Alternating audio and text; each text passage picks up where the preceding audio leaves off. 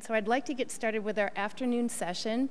Um, and to kick that off, I'm, go I'm, going to introduce to you Rachel Atchison, who is the Deputy Strategist with the Borough President's Office. Many of you probably know Rachel, but she is a real superpower in the plant-based world. She's an amazing organizer, and we're thrilled to have her. Rachel.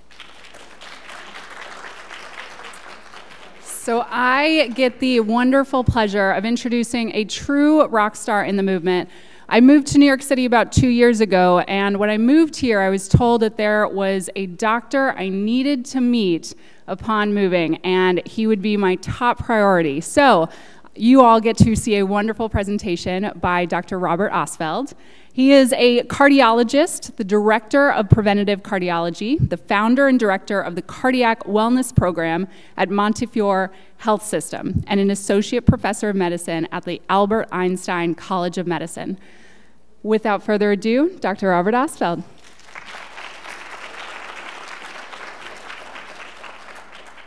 Thank you so much, Rachel. It's, uh, can you all hear me in the back? Okay. If you stop hearing me, just wave or something. Let's see this. Oh, good. I don't have to do Dr. Katz kind of gyrations. And I, I, don't know. I felt. Uh, I don't know. I felt this pressure after Dr. Rosenfeld's talk to like do my talk topless or something. But, but then I thought about it a little bit more, and I'm like, I'm going to spare you guys that. So, uh, so it's a real honor and pleasure to be here with y'all. And I mean, it's just incredible to see the energy and passion that you have for nutrition and health here in Brooklyn and just how forward thinking uh, SUNY Downstate is. So it's really, it's really amazing. So we're going to talk about a plant-based diet and your heart. So um, I got to participate in a debate at the American College of Cardiology conference um, uh, a couple weeks ago, and it was between plant-based diet and Mediterranean and keto. So I'm going to take a little bit of that talk and, and bring it here today. So we'll be talking a bit about a plant-based diet, a Mediterranean-style diet, compare that to a plant-based diet, a ketogenic diet, compare that to a plant-based diet, and we'll make some conclusions. So um, when we're talking about a plant-based diet, what do I mean? I basically mean it, excludes or nearly excludes all animal products. If it has a face or comes from something with a face, don't eat it. That's what we mean. So uh, it includes tons of vegetables, fruits, whole grains. And I stress whole grains uh, because it's minimally processed. Like none of us think that sugar and white bread is healthy. So truly whole grains, uh, beans, lentils, yams, etc. So the only dietary pattern that I know of that's been shown to reverse cholesterol blockages in the blood vessels that feed the heart with blood is a plant based diet. And so, in this great study by Dr. Ornish, who Dr. Katz spoke a good bit about, uh, he took people with stable cholesterol blockages in their heart and he randomized them into two groups. Group number one was almost exclusively a plant based diet, but they had some, a little bit of no, no fat dairy in there, and um, psychosocial support and exercise. And the other group was expert care from people just like me, cardiologists. Guess which group won? So the group, of course, that had the healthier lifestyle, their cholesterol blockages shrunk, and those taken care of by cardiologists like me, cholesterol blockages grew. And that just kept on going. After one year, after five years, it kept on going. And the group that was treated by the expert cardiologist had, about, had a higher odds of having a cardiovascular event like a heart attack or stroke after five years. And this diet, of course, or this lifestyle pattern, it's dose dependent, which is important, uh, because the more people did it, the closer that they lived to this healthier lifestyle, the more their cholesterol blockages shrunk. And that's important because when there's a dose response relationship, we think it's an even more powerful thing. And other studies have supported a similar kind of relationship. So, okay, a plant-based diet can potentially reverse coronary disease, but also improves risk factors for coronary disease among other kinds of diseases. So CRP, inflammation is the big catchword these days. Well, in a randomized study, taking people with stable cholesterol blockages, they randomized them to a vegan diet versus the American Heart Association diet. And guess which one won? the vegan diet reduced inflammation significantly more. LDL cholesterol, the higher the levels in your blood, the worse that we do. And we know that if we lower those levels, people do better. So, in a very interesting randomized controlled trial, they looked at a cholesterol lowering drug and they also looked at a plant based dietary pattern. And they both lowered cholesterol to a very similar degree. So, a plant based diet can lower cholesterol levels about as much as a statin. And cholesterol particles can become particularly irritating to your blood vessels when they become oxidized. And they become particularly irritating then, like a splinter. Well, that process in your body of oxidizing the LDL particles is more difficult when you eat a vegetarian diet versus an omnivorous diet. Blood pressure, another risk factor. Blood pressure is lower in those who eat more plant based nutrition. And in a really cool study, the CARDIA study, the coronary artery risk determinants in youth study, they found that the people who ate more and more plant-based more uh, plant-based foods were significantly less likely to develop high blood pressure. And this theme continues with other large epidemiologic studies.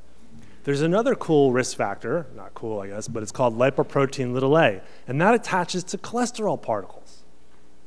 And it really increases the risk of having a heart attack, stroke, but there's not a lot we can do about it. Medication doesn't really do quite that much yet. There's some on the horizon, we shall see. But in an interesting study of plant based diets by Dr. Baxter Montgomery he significantly lowered lipoprotein little a levels with a dietary intervention. So, novel risk factors. So, okay, it improves risk factors we're more familiar with. And a novel risk factor is a plant based diet, as Dr. Katz is mentioning, can improve gene, gene expression. So, uh, Dr. Ornish took about 30, young, uh, 30 people with early stage prostate cancer, and he put them in his healthier lifestyle, which includes largely plant based nutrition. And he biopsied the prostate before and after.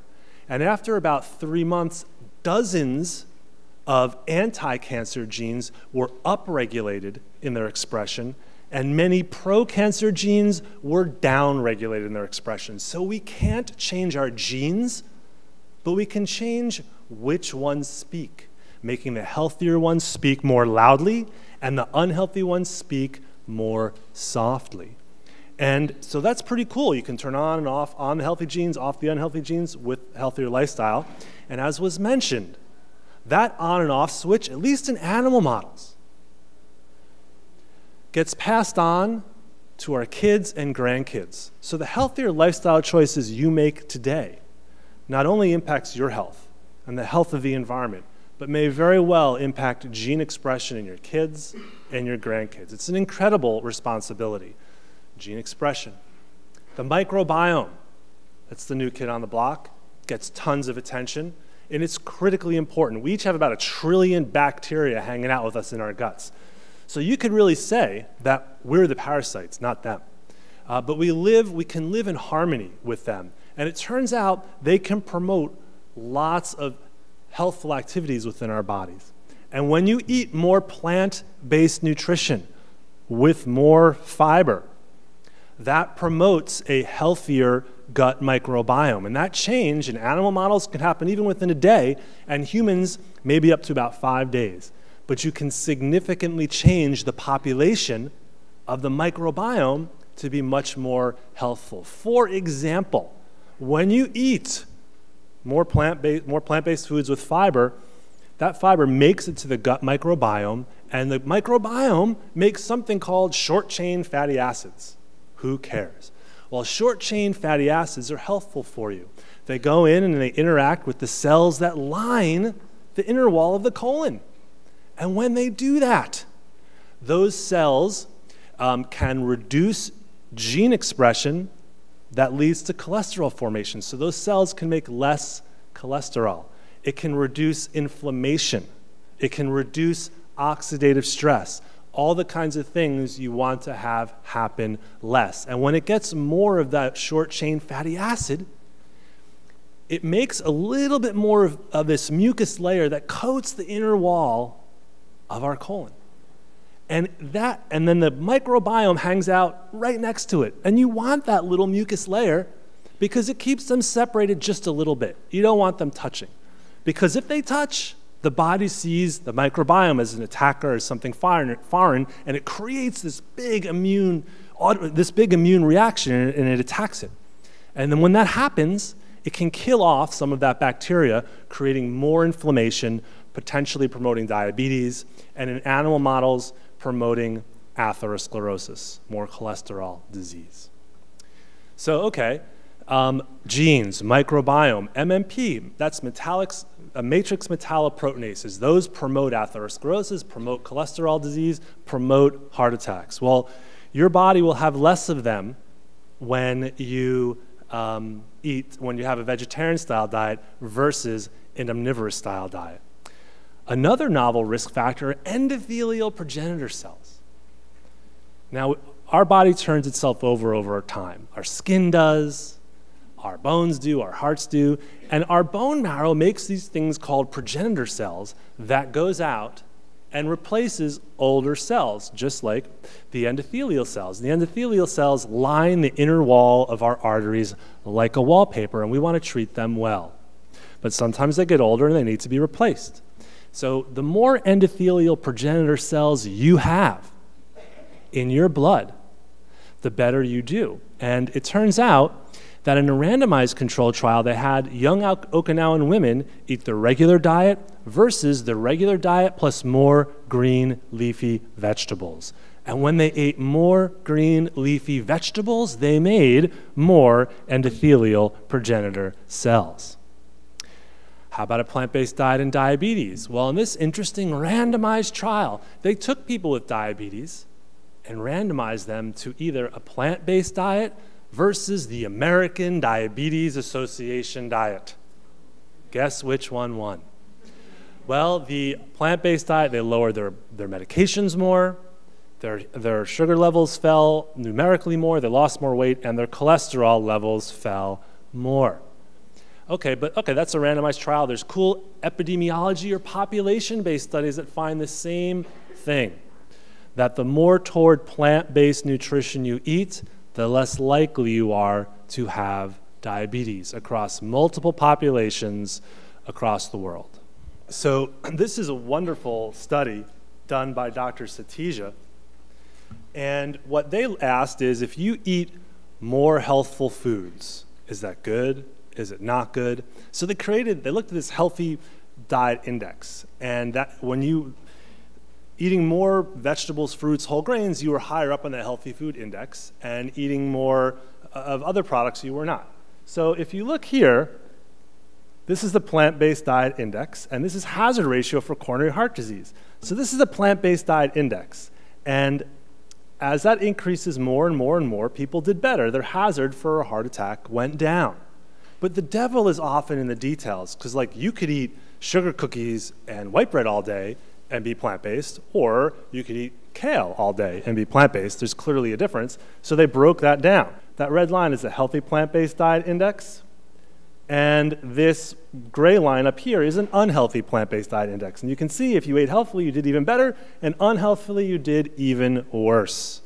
However, this yellow line here, this is the healthy plant-based food. So the more of that you ate, the better you did. And then they compared it to animal-based foods and less healthy plant-based foods. And the animal foods included chicken and fish.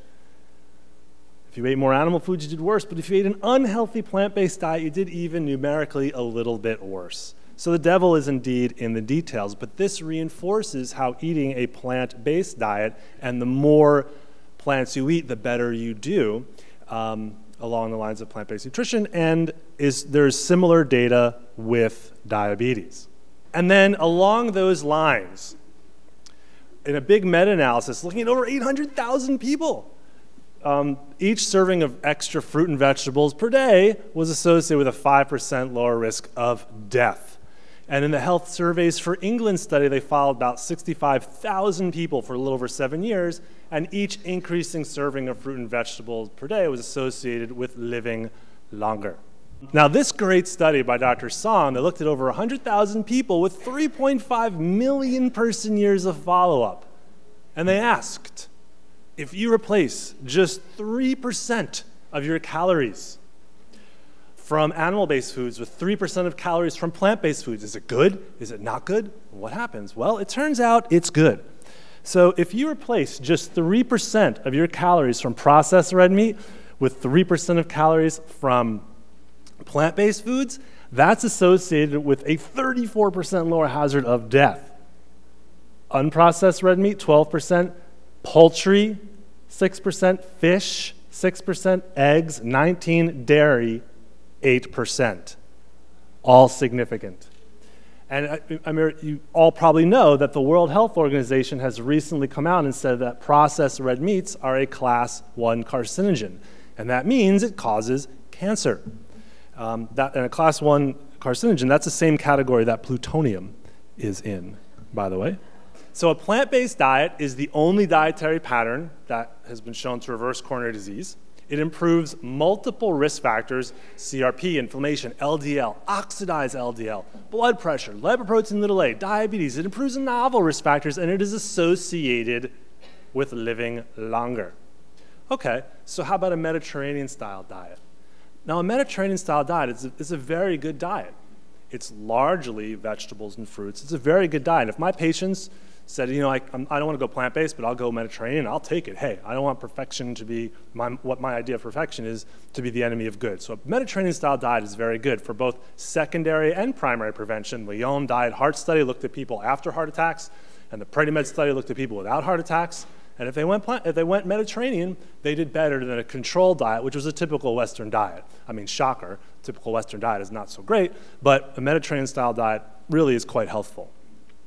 But it appears that under the umbrella of a Mediterranean style diet, the more plant based you go, the better you do.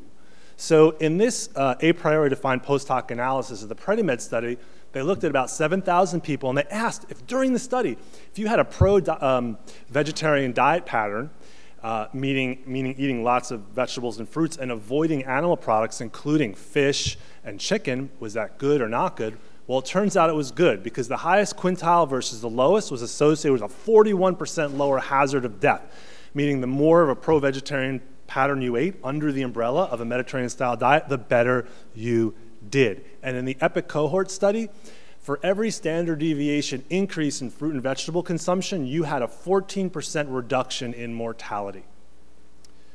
So in the Greek EPIC perspective cohort study, where they ate largely a Mediterranean style diet, they, they found in 23,000 people that if you had a higher Mediterranean diet score, meaning the more of a Mediterranean style diet you ate, the better you did. That's great. A Mediterranean style diet is a healthful diet. But they're like, well, okay, let's look at how we define the score and what aspects of the score accounted for the benefit. So, all right, moderate alcohol, that was associated with improvement. The, the benefit was driven by that. It was also driven by low meat consumption, driven by high fruit and nut consumption, high vegetable consumption, high monounsaturated to saturated fat ratio, meaning more plant based foods, high legume consumption, cereal and dairy, minimal impact, and fish and seafood had a trend toward harm. So, in this analysis, going more plant based also appeared to be better. This is the Seventh day Adventists. They treat their bodies like temples. And they have multiple healthy dietary patterns. But in this analysis of over 60,000 people, you can see they looked at different dietary patterns. They looked at non vegetarians, semi vegetarians, pesco vegetarians, lacto ovo vegetarians, and vegans. And they looked at the percent with diabetes. The group with the lowest was the vegans. And just to highlight, these are the pesco vegetarians right here. So a Mediterranean style diet is a very good diet, but it appears that the more plant based one goes under the umbrella of a Mediterranean style diet, the better one does based on clinical and mechanistic studies. So the ketogenic or the low carb diet, I think, is largely based on a popular myth. And the popular myth is that we were told in 1980 or so to eat low fat, and then we ate low fat, and look at us now, we're fat and sick. Well, we may have been told to eat low fat, but we didn't do that. We ate more of everything. So it's fake news. I, I think it's a, it's a compelling narrative, but I think it's fake news. So, no long living society lives in a state of chronic ketosis. Now, there's a romanticized notion that the Inuit population, they live very, very far north, circumpolar, uh, do. But first of all, their outcomes, their longevity is about the same as the typical population in Canada. So there's nothing particularly health magical about that. But and they eat a lot of, of fish and fish blubber because of where they live. But they've also selected for a mutation that makes it even harder for them to go into ketosis suggesting that being in that state for a chronic period of time may not be healthful. But then if you step back and you look at the longest living populations in the world, the blue zones, okay? There's five populations, Dr. Katz was mentioning them, all over the globe, including the Seventh-day Adventists. They're the most centenarians, and they eat primarily a plant-based diet. More than 50% of their calories is from carbs, and they're the longest living populations. And I look at nutrition kind of like a symphony. You know, there's tons of interesting mechanisms. There's the violins, and there's the drums, and there's the trombones, and all the different parts, and there's the strings, this mechanism, that mechanism, and it all adds up together to make a big symphony. And it's important to learn about all those parts, and we have a ton more to learn. The microbiome alone is a hugely amazing topic, which we don't know enough about yet. But if you look at the whole symphony, where it's all put together, that manif manifests as how people live. Populations, the blue zones. The blue zones represent, in my mind, the symphony. So let, but the Tsimane people also are another representation of the symphony. They're an indigenous population in Bolivia uh, and they analyzed about 700 of them. They even shipped down CAT scan machines to the jungles of Bolivia so they could take CAT scan pictures of their heart. It's pretty impressive. And they, that population has the lowest rate of heart disease ever recorded in the medical literature. Their diet, 72% carbs. Now, they're also very active, and it's whole grains.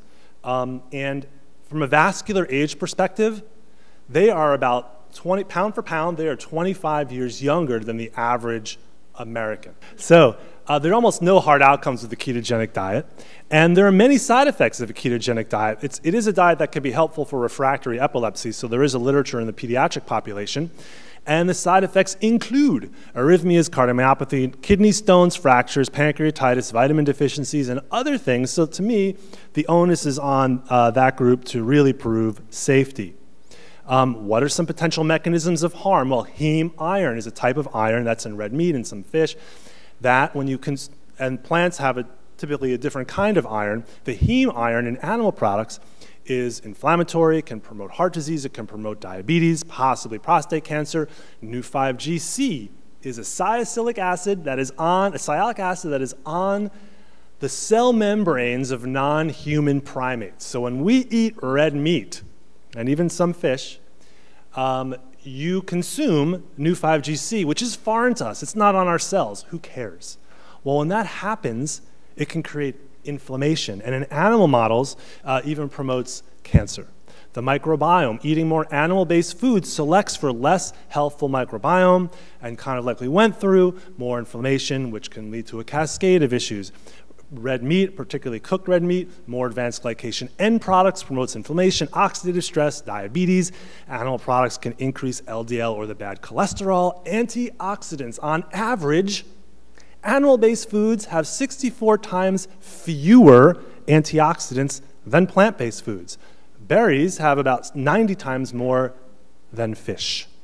And in a murine or mouse model, that they fed their usual chow, which is high in carb, a Western diet, and a low carb diet, they looked at how much cholesterol blockages they developed in the arteries in their body. And those eating the low carb diet developed the most cholesterol blockages. But you know what? They had similar blood pressures and similar weights between those different groups of mice. But then when they looked at more novel risk factors, ones we don't usually look at, look at like endothelial progenitor cells and non-esterified fatty acids, which promote inflammation, those were worse in the low carb group. So it's much more than just blood pressure and cholesterol. There is a, a symphony of things that are going on.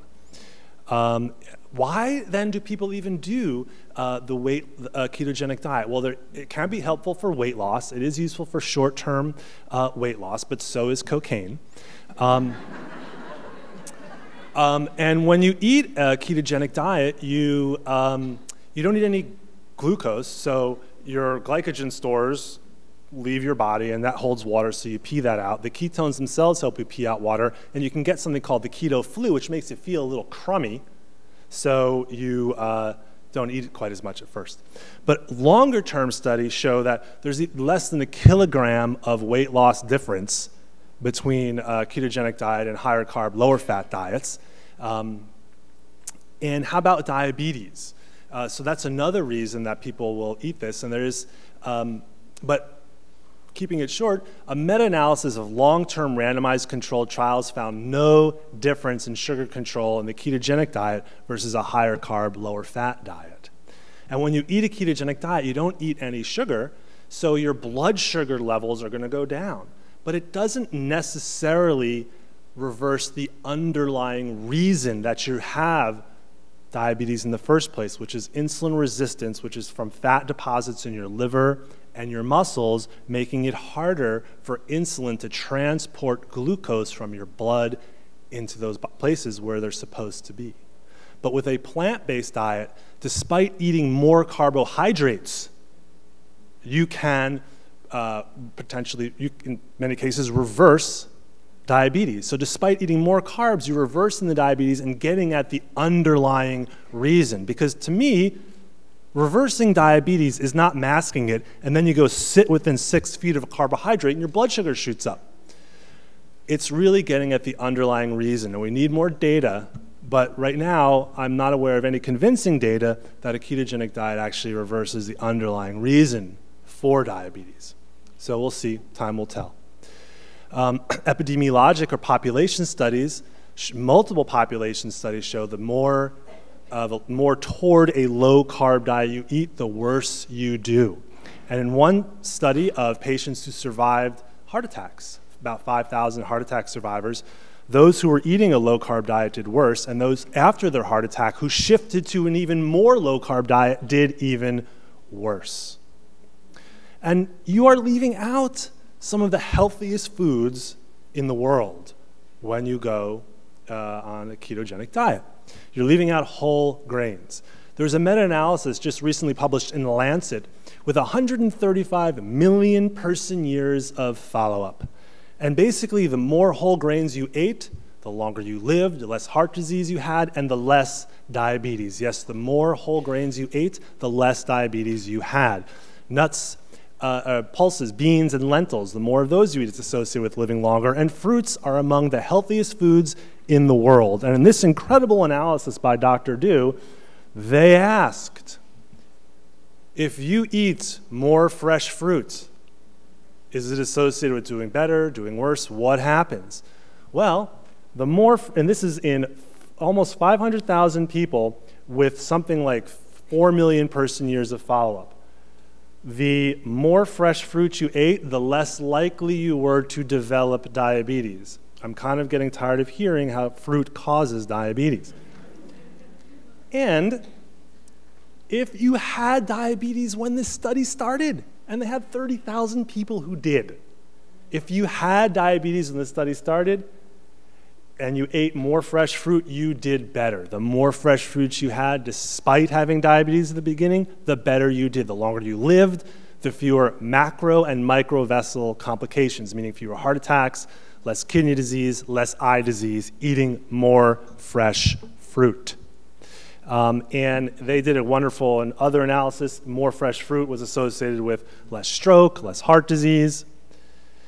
And accordingly, the American Association of Clinical Endocrinologists recommends a plant based diet for patients with diabetes.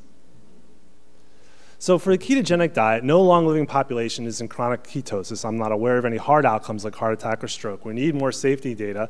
Epi and mechanistic studies do not support benefits and suggest harm, and you are giving up some of the healthiest foods in the world. So if you look, this is a nutrition table. So these are plant-based foods versus Mediterranean versus a more ketogenic diet for 500 calories. These are plant-based, Mediterranean, keto. The plant-based is equal parts tomato, spinach, lima bean, peas, and potatoes. Mediterranean is 40% of all that. and then uh, half a piece of skinless chicken, one teaspoon of olive oil, and one cup of 1% milk. And the ketogenic diet is e equal parts uh, other stuff. it's equal parts beef, pork, chicken, and whole milk. And as you can see, cholesterol goes up the more animal products you eat. You don't need to eat a drop. Your body makes all you need. Protein is a little higher in the Mediterranean style arm, but you don't need to eat anywhere near that much. You can ask all the, the plant based bodybuilders.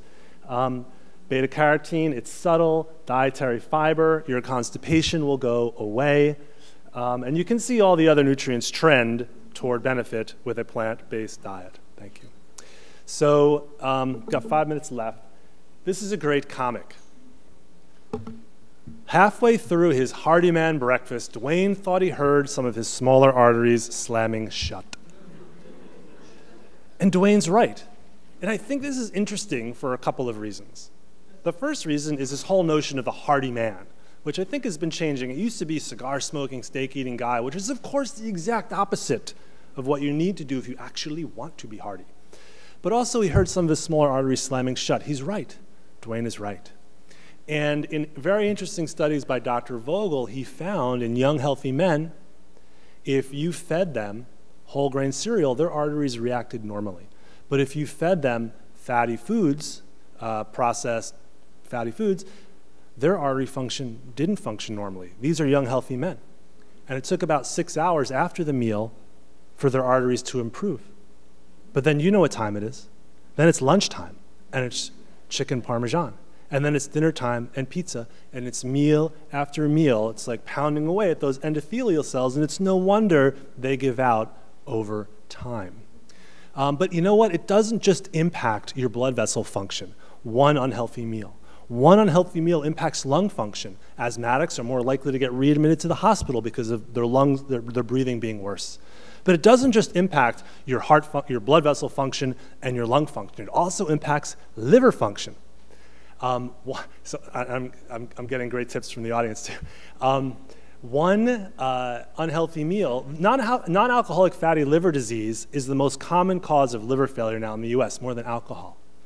Well, after one unhealthy meal, your liver metabolically looks like non-alcoholic fatty liver disease, and it goes away after about six hours, but that's one unhealthy meal. But it's not just your blood vessel function. It's not just your um, lung function, not just your liver function, it's your red blood cell function. Your red blood cells carry oxygen in your body, and they're, they're all very flexible and they can get through all the small capillaries and all over the place. But when you eat one unhealthy meal, they can become spiky and less flexible.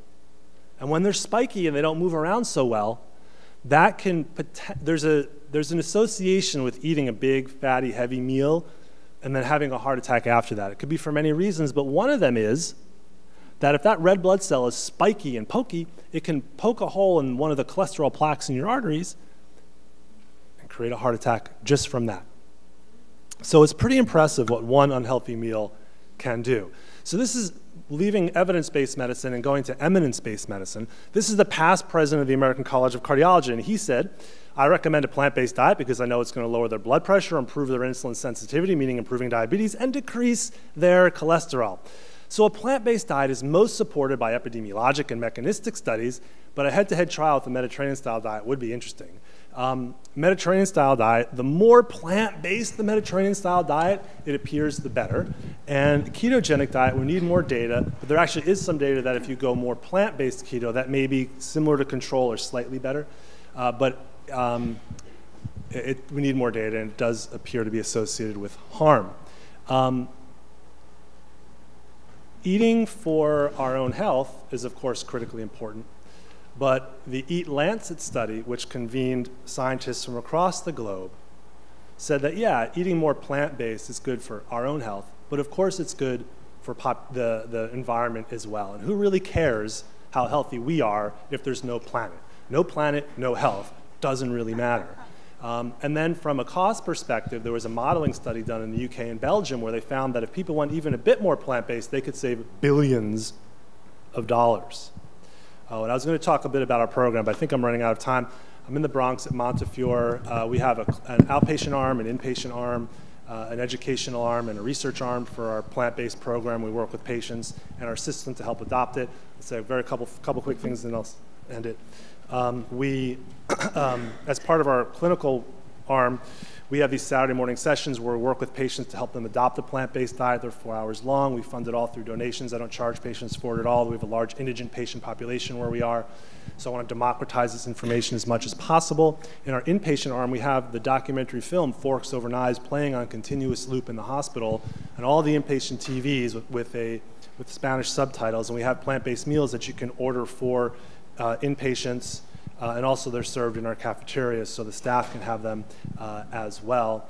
And Montefiore's gone meatless Mondays recently as well. From an education standpoint, we have our, a number of things, but our big annual conference coming up um, on November 2nd, and we'd love to have you all there. We're going to have cards out front with information about it. Registration is open, and if you go through mecme.org and you look for November 2nd, you can find uh, our, our conference. So thank you very much.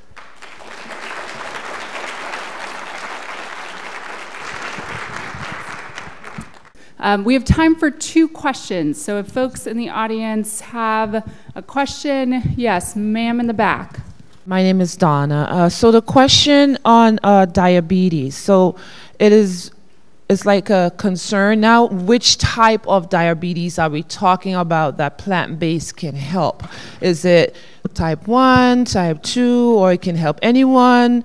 So because it's a back and forth thing, you know, because I'm assuming it's type 2 diabetes you're talking about, but I know within my, eh, my community, you know, there are folks who say, well, I have type 1 and I'm dependent on insulin. That's not doing anything for me. So how can we address that? The answer to your question is yes. It is helpful for both type 1 and type 2 diabetes. Um, there's evidence in patients who have type 1 diabetes, the more low carb they go, it's associated with more uh, cholesterol disease and blood vessels in the body. Uh, you also derive a myriad of benefits uh, from uh, eating more plant-based when you're type 1 diabetic. All the other benefits come through. It's not, it's not necessarily going to fix type 1 diabetes because your beta cells that make the, the insulin are gone but it can make you much more healthful and it may lower your, your insulin requirements. And there's a wonderful uh, company, uh, I guess I'll say, they're called Mastering Diabetes. They both, they're uh, run by two wonderful people uh, and it's online and they help people with type 1 diabetes go more plant-based. I have no vested interest in them one way or, or the other. Um, but uh, at any rate, uh, so the answer is yes.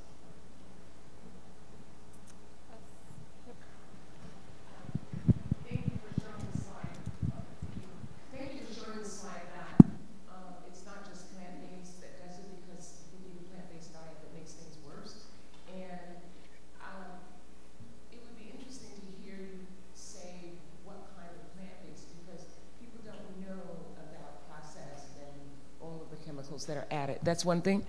But the second, I just want to ask you if you have a minute to comment on this. When I was doing HIV work, I used to use a lot of um, educational things and um, campaigns that used, quote, I was told, fear tactics. And the question is, in public health and population health, whether or not you think fear tactics is what they were called, so that if you showed people how animals were raised and what they were given and how they were slaughtered, whether or not you think that that would um, help people in terms of making the decision to go plant-based. Thank you. So in terms of, so thank you about asking about the types of plant-based food, and truly it's minimally processed plant-based foods. So sugar cookies and white bread that's plant-based, but no one's going to argue that that's healthy. So it's it's, it's whole grains, uh, vegetables, fruits, beans, lentils, chickpeas, peas, tofu, potatoes, um, foods like that. And what what was the quote? You know, if it's uh, you know made in a plant, don't eat it. But if it is a plant, eat it. Something like I'm, sure I'm massacring that quote. Um, and in terms of scare tactics with uh, you know what happens to animals, I, it's not an area that I've pursued at all. Um, and you, you know, when, um, but that can be, you know, for some, for the ethics of um, consuming animals is a, is a very uh, impassioned topic for a lot of people and, and appropriately so. So for the appropriate audience, I think that would be something that might be helpful, but it's not something that I use in medical practice.